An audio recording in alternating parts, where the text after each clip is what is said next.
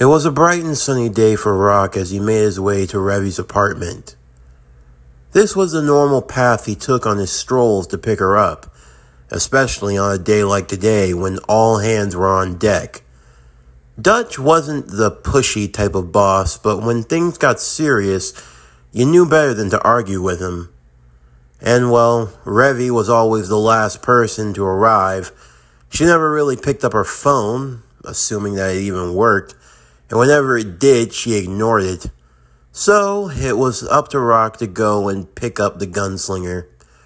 Arriving to her apartment, it was still as filthy and as trashy as ever, and he had cleaned it three times since he'd been here. She always gave him a would be thank you and would proceed to trash it just as quickly as he managed to clean it up.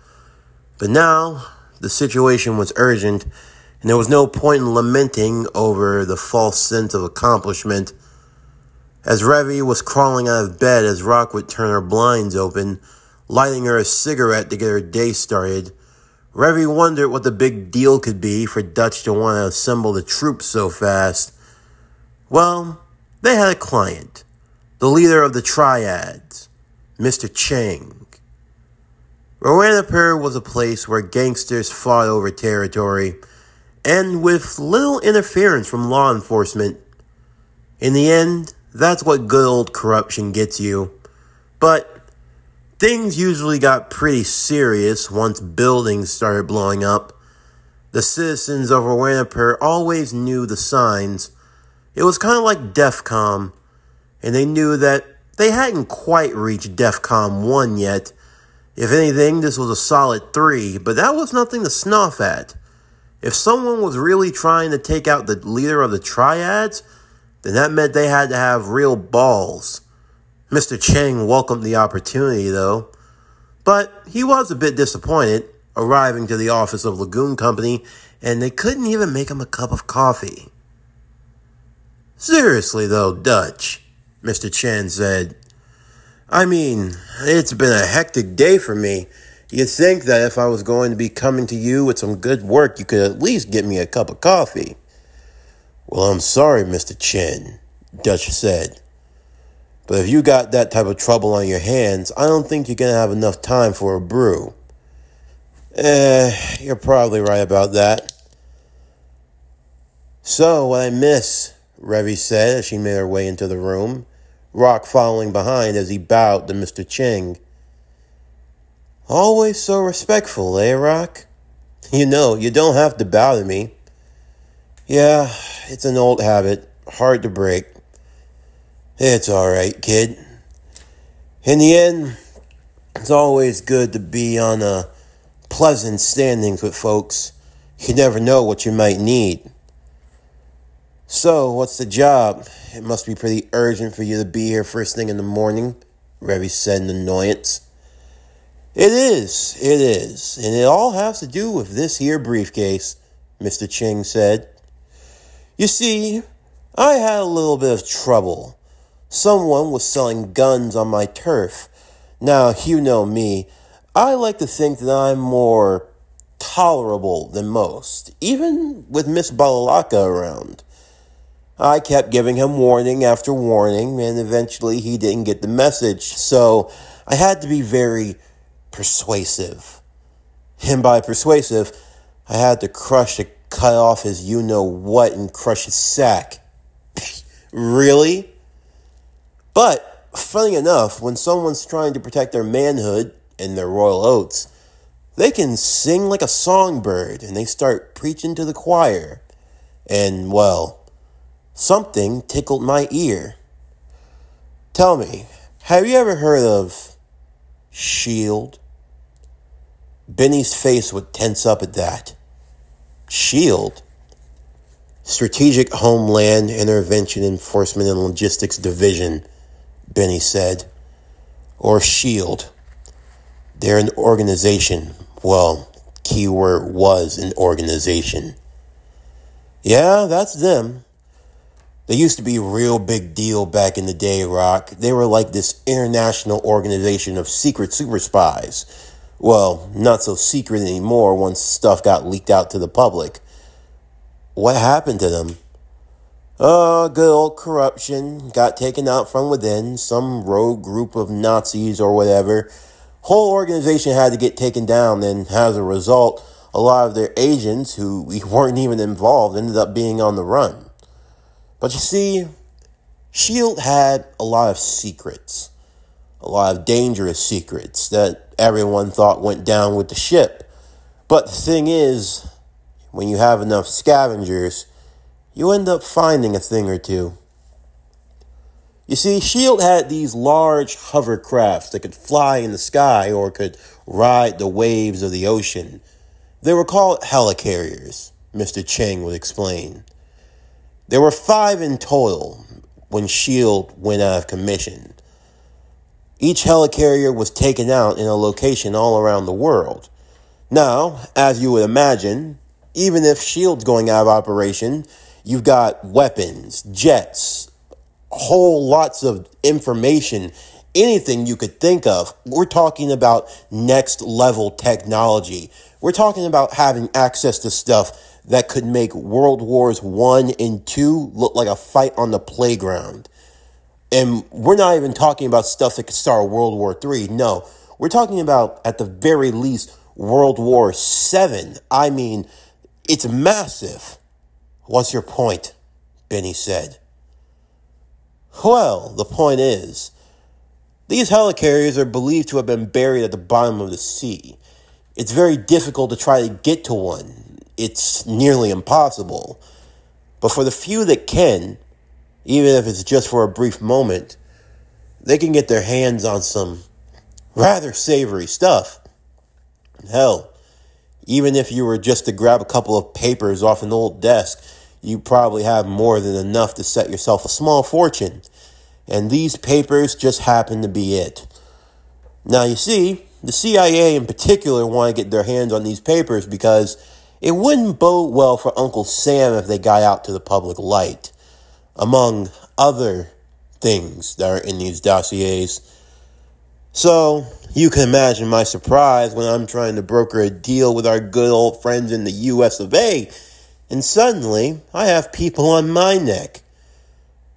So, what's the job then? Dutch would ask. The job is simple. There are going to be five teams. Each one's going to be carrying a different briefcase. Now, of course, no team will know which one has the exact, so you can assume this is like a good old game of Schrodinger's cat. I see, Rock would say. So any of us could have the real documents, or none of us could have them. Precisely. In two days' time, you're going to be rendezvousing on an island to the southwest of here. When you do, you'll give them a certain password. There'll be two drivers. And from there, you'll carry on. You know, this is really last minute, Dutch would say. Not sure if we're going to have enough time. Eh, in the end of the day, Dutch, do we ever really have enough time? What do you think, Benny? Dutch said, looking to him. For Rock, he had never seen Benny look like this before. A settling unease was etched all across his face. His normally calm and even light-hearted demeanor had all but vanished. This is serious, Dutch. We need to take this mission. I see. You're not the one that's usually gung ho about these type of things. So if you think we should take it, then look, I know that in the end of the day, we're nothing but pirates and outlaws, and I'm fine with that. But this is one thing that we can't overlook, Dutch. We have to take it. All right, all right. Well, looks like we're going to have no choice but to be in business. Huh. What's that sound outside? Revy said as she opened the blinds. Huh. Why are there so many car? Oh, crap. Everyone get the hell out the way! What? What the hell's going on? RPG! The moment that Revy ducked away from the window, Dutch would stand up, his body taking the full brunt of the hit as the window would explode. Well, that's one welcoming party. Uh, you can just flip me the bill, Dutch. Don't worry, I'll be adding it to the expense. All right then, we're gonna have to break up and get out of here. All right, men, we're gonna have to help escort these fine people to their boat. It's been a while since I actually got in the field. I'm looking forward to some action. Rock, you ready? Yeah, don't worry. Revy, you and Benny lead Mr. Chen out the back entranceway. From there, you'll make it to the Black Lagoon. Rock, you'll back me up as we go through the front. That's where most of their forces are going to be piling in. I'll take the shield. I take the spear. Got it. Hey, Rock, Revy said. Don't get yourself killed, you idiot. Don't worry. I have no intentions on dying. Rock reached into his back pocket and pulled out his yellow bandana, tying it over his face, now ready for a fight. As Lagoon Company would make their way out, Mr. Chen, Benny, Revy, and a few others would make their way to the exit at the back door, while Rock and Dutch would take the front. Rock would stand behind Dutch as he charged up his cursed energy into his fist. He wouldn't have to convert it into blessed energy since he wasn't fighting another cursed spirit user, just regular humans, so regular cursed energy would be more than enough as Dutch would take the full brunt of the machine gun fire right at him.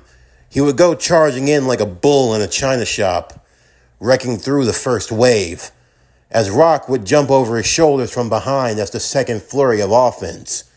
Dutch would take the forefront in blocking against the firing strikes, and whenever they needed to reload or were out of ammo, that's when Dutch would come in clutch with his striking ability. This was the one two combo that they had developed together and they found themselves to be rather effective at it. For Dutch, it was moments like this when he had to remind himself that Rock was no ordinary Japanese businessman. Normally, Rock looked like he couldn't even harm a fly. But when he got into this mode, when he was truly locked in, he looked as though he could rip men to shreds. Although if there was one thing that Dutch found to be lacking, it was that Rock wasn't the type of person to go for the kill. He just didn't really seem to have it in him. He would always leave for lethal damage, breaking bones and other limbs like it was no problem, but he never dealt the killing strike. That's where Dutch came in. Dutch was always there to deliver the final blow, to make sure that when they were put down, they stayed down. This was the unspoken compromise that the two of them have made. It wasn't that Rock was above killing, it was just that taking a human life, it wasn't really something that he reveled in. Not that Dutch was some bloodthirsty monster or anything, this was just the nature of the business. In the end, Rock could handle his own just fine. So, if all Dutch had to do was make sure that a neck got turned, or that a skull got cracked, or if a shotgun had to be placed at the right time, then so be it. And that was the compromise that Rock had agreed to. He would take them out, but whoever dealt the killing blow, he just wasn't going to stop them. This works similarly with Revy. Revy would be the one to deal the fatal shots so that Rock didn't have to. On one hand, they kind of thought this was a cop out, kind of making them do all the dirty work. But on the other hand, it was kind of something that even Revy wanted. She had actually spoken to Dutch about it privately. Dutch didn't really get what Revy was going for with this little agreement of theirs, but for Revy, this was what she wanted. Whatever Rock was now, she wanted him to stay that way. She didn't want him to become a full blooded killer like they were. Even if he was a criminal, there was still a part of him that was pure a part of him that hadn't truly been tainted by this world just yet. And for Revy, if she could protect that innocence, she owed it to him. After all, he was the one that bore the curses of this world on his shoulders.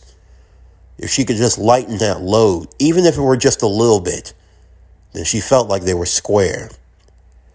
Eventually, everyone would make it to the Black Lagoon and from there, they would carry on in their mission. For Benny, he stayed cooped up in the computer room, his mind racing with thoughts of everything that had happened. After so long, he thought that he was finally done with that part of his past. It seemed as though the sins of S.H.I.E.L.D. had now followed him all the way to Roanoke. Benny never talked very much about his past, only that he was found in Florida by Revy and was saved. But that was all they knew. Of course, Rock would have wanted to learn more, but as they agreed, you don't go digging into someone's past, not unless they want you to. And even then, you have to be careful because you never know what you're going to find. So for now, it was best just to leave the sleeping dogs where they lied. Of course, they weren't the only ones who were out searching for things of the past, but their enemies stayed hidden in the shadows. Eventually, the time to leave for the rendezvous would come. Rock and Revy would be leaving together, arriving to the island where they would be meeting with that said driver. Revy would have the code in hand, and Rock would be carrying the briefcase. As they made their way through the city, they would eventually find the car that was waiting for them. There was an older man dressed in aviator shades sitting at the steering wheel who seemed to have been waiting for their presence. As Revy approached, the two would make small talk, the man seemingly innocent for the most part, until finally the time came for the password. He gave it to them. May the force be with you. He jokingly said that it was a rather dated type of password and that didn't really make much sense, but in the end, it seemed to suffice. And Revy would agree. That would suffice. That was the password, after all. Just not the real one. What are you talking about? The man said. Oh, the password? That was changed at the last moment. But you would know that if you knew who the real buyer was, Revy said. What? No more wisecracks, old man? I'm pretty sure you got another joke or two, don't you? Come on, make my day. Tell me. Tell me another joke, you dumb son of a bitch. well, I got a joke. It's just I don't think you'll actually get it, but your friend over there, Rokuro Okajima, I think he'll get this joke just fine. Still holding on to Revy's hand as they shook, he pulled from his side a blade.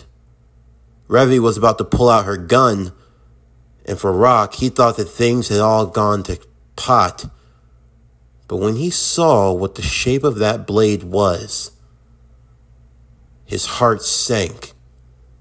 The man was about to cut Revy's hand off until at the last moment Rock had managed to clear the distance between them, kicking away at the car door and freeing Revy as the blade came slashing down, slashing Rock's left arm and leaving a deep, piercing wound. Fuck! Rock! Revy would say. It seems like they're on to us, Strucker. You might want to come out here. From on top of one of the roofs, a bald man in an old uniform would arrive. On his left hand, he appeared to be wearing a gauntlet. Rock recognized what it was. No way. How the hell do they have a. You recognize this? I bet you do. It's a cursed tool. The inverted spear of heaven. The what? Revy would say. And that there's the devil's claw. I know what they are, Rock would say. But how the hell do you have them? well, Rokuro, the man would say. You're not the only one who knows about these sacred items in the world. I have to admit, when I first learned about it, I thought, This tiny thing? There's no way. But now seeing it firsthand, actually feeling the power that's within it, I have to say, I'm starting to become a believer.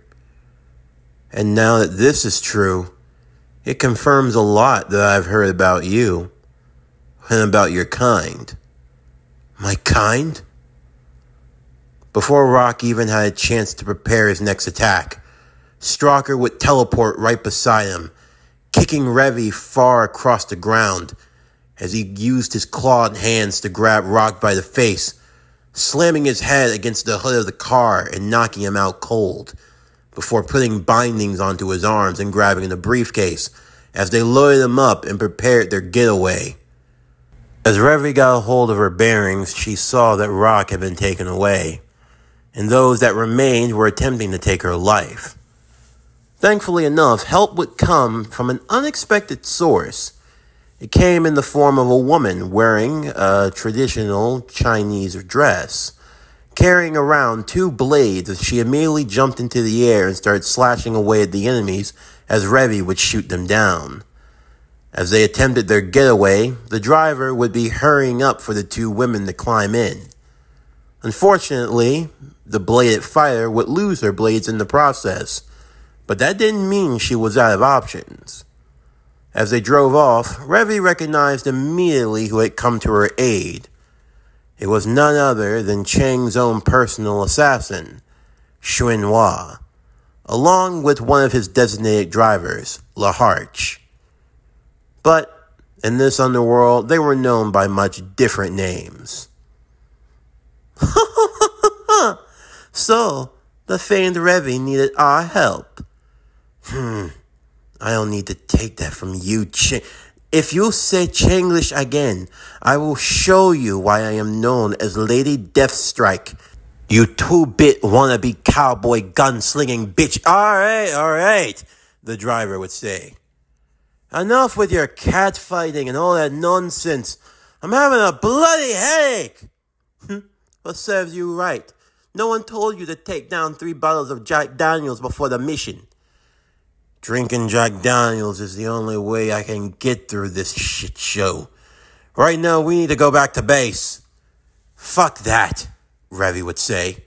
We need to go back and save Rock and get back that briefcase.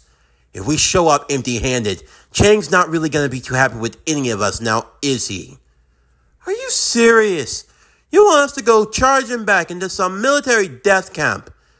We know about what your good boy Rokuro can do, and he just got turned into a little wuss. If he can't do anything, what makes you think you're gonna be any better? Because I'm the bitch that's got the balls, and I've got the gun. Now do it! Ay. If I wasn't in such a hammered state, I'd turn around and I'd scream your pretty little ears off. Whatever. Fine. As the car would make its turn, Revy and her unlikeliest of allies would make the charge to save Rock. In the meantime, Dutch would be given a call about what transpired, and with Benny becoming ever more restless, he looked into an old briefcase for something he didn't think he'd ever have to use again. You sure about that? Dutch would say. You always said you'd never use it. Yeah, and I would have preferred if I had kept it that way. It's all in the past now, Benny boy. There's no need to go dredging it up. It won't make things any better. I said that I'd let this part of me go when I felt like I atoned for everything. And this, this only proves that I've got far, far off the mark. I'm gonna have to make a call. Who? To Balalaika's girl? You know she hates you after what happened. Yeah. But maybe it's time I started explaining myself better. If she doesn't like your answer, you know she's gonna try to kill you. Maybe it's for the best. But I can't let this come back. It's time to get out the truth and put all of this away once and for all. So maybe just one more time. I can be this thing again. Benny would pull out of the briefcase a black uniform, a mask with golden trim and a hood, and a long, a short sighted blade. The last blade he ever wielded. This sword held a lot of significance for Benny. It was the sword that made him famous, or rather, the sword that made him infamous. So many lives were changed and cut down with this blade, and yet he could never depart from it and from the man that taught him so much. If just for one more time, to right the wrongs of his past then the Ronin must step out again. In the meantime, Rock would awaken to see that his arm had been bandaged, although he was tightly secured to a chair and there were binding seals placed all around him. This was the work of Jujutsu. He saw that the man that was wielding the inverted spear of heaven was twirling it around in his hand well, now, you're awake. I was beginning to worry about you there, Rokuro. Who. Who am I?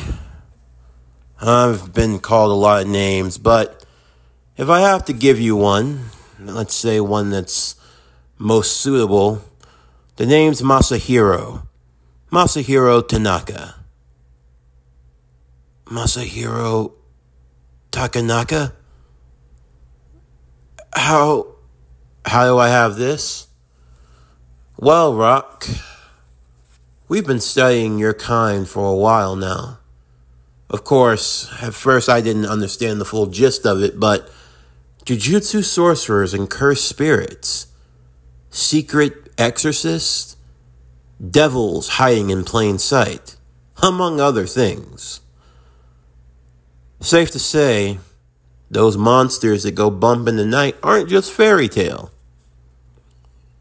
How do you have it? It was supposed to be supposed to be hidden away, destroyed in the battle. I know that's what you're thinking, but you see, we've had people following for a while now. For a long time, they've kept their distance, of course, but we know all about your little friends back in Tokyo. Satoru Gojo, Principal Yaga. Who do you think recruited some of the best assassins in the world?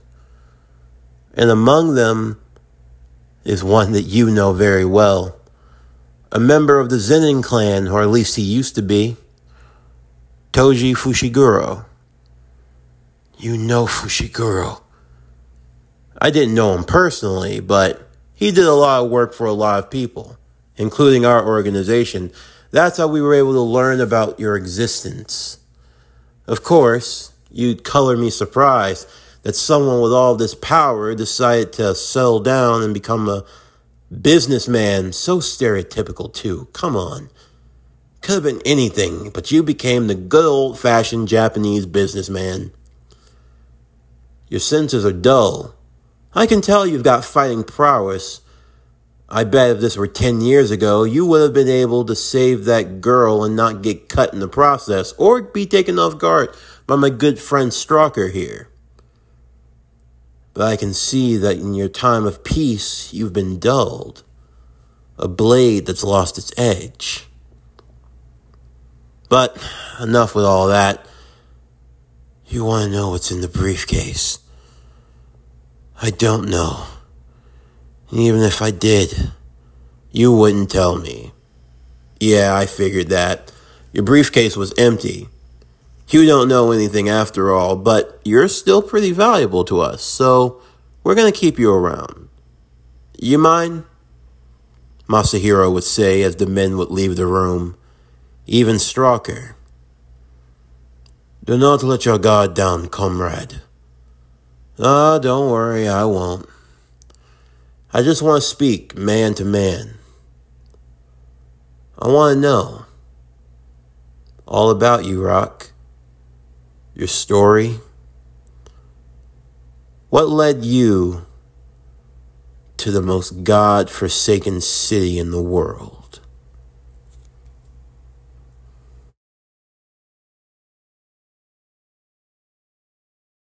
This concludes Black Lagoon City of the Dead. What if Revy was the Punisher? Season 1, Part 6. As always, if you enjoyed today's video and everything else that we have to offer, then please don't forget to like, comment, subscribe, share, and hit that bell for post notifications so you can stay up to date on everything that is PowerCore Productions and Podcastings. That's to come out now and in the future. Stay tuned tomorrow as we continue and conclude Black Lagoon City of the Dead. What if Revy was the Punisher? Season 1, Part 7, the Season 1 finale. But anyway, that's going to do it for the end of today's video. I'm Javon Harrington with PowerCore Productions and Podcastings, signing off, and I'll see you next time.